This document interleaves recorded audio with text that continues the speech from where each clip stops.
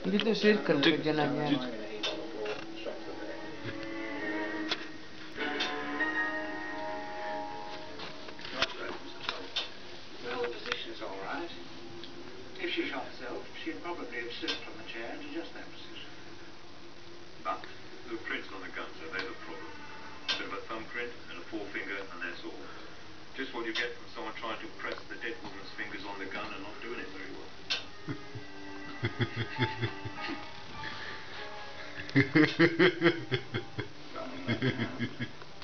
the left side. It looks as though she's holding the gun. It's just sort of lying in her hand.